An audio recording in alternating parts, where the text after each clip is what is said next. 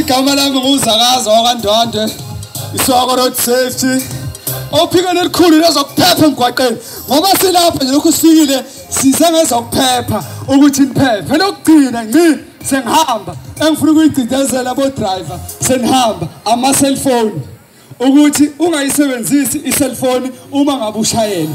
Ngoba uma usebenzisa i-cellphone kusho ukuthi usushayela ngesandla esisodwa okuwukuphula umthetho. And futhi i-cellphone akuvumelekile ngoba noma ngabe imoto yakho isinalezi zinto ey'setshenziswayo ukuthi ungayithinti i-cellphone ngesandla kodwa uma kungena umlayezo obuhlungu uyaphazamiseka ungayithuka usungena phambi kwemoto lapho.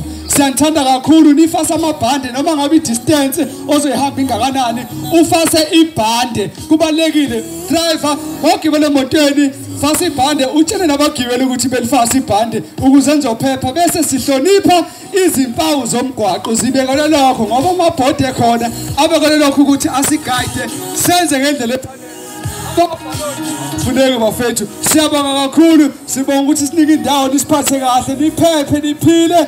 Liwe right. Lisaleni kahle. Ebumnyama